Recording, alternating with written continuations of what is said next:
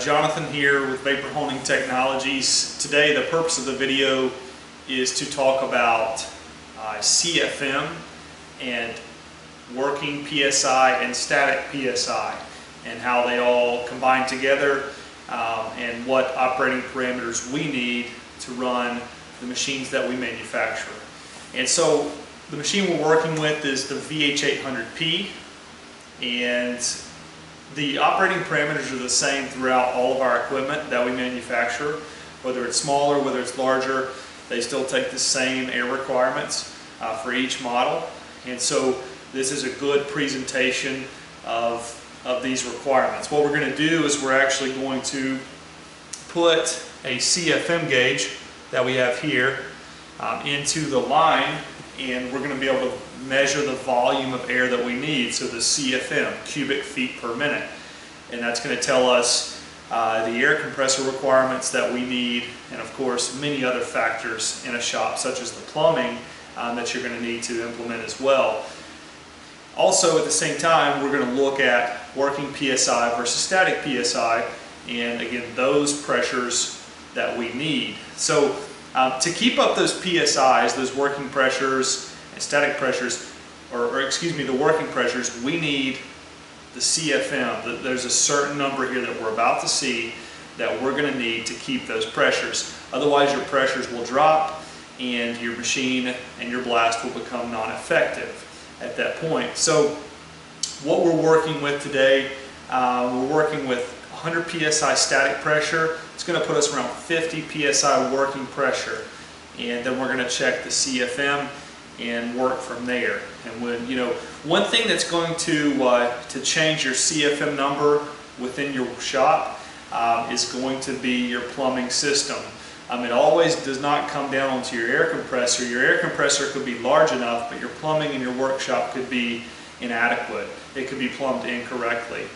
And, you know, you could have plumbing set up correctly, but maybe the improper line sizing that you would need to get the correct volume.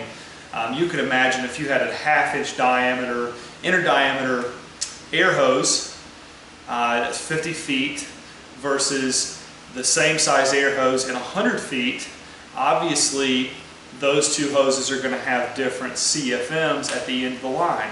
And it's all about how much air we can force through that line and of course what kind of pressures are we going to get on the other side.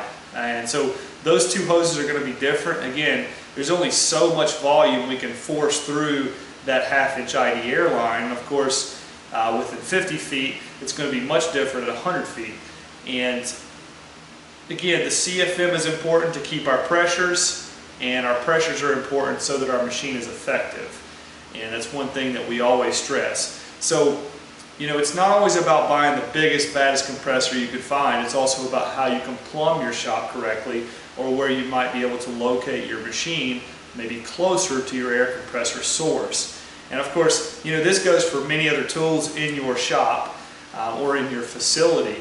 They may need certain air requirements and this video might help you uh, with those as well. So hopefully it does help. Uh, let's go ahead and take a look at the uh, CFM gauge and we're going to see what kind of CFM we're pulling on this particular 800P. So let's get started. Okay, so here we are. I apologize for the gauge being upside down, but this is the directional flow of air that we need. So we just flip the gauge up uh, to do this the, the quick and easy way. What we're going to do is right now we're set at static 100 psi on the main regulator coming into the machine. We're going to show you the working pressure, which is about 50 psi. We're going to show you the CFM, the volume of air needed to keep up those pressures.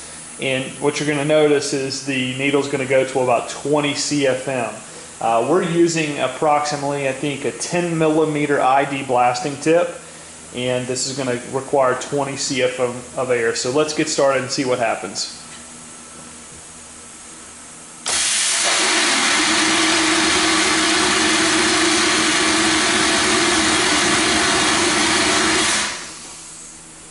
There we have it. Uh, 20 CFM is required here at uh, the 50 to 60 working PSI that we're working with with a 10 millimeter ID tip.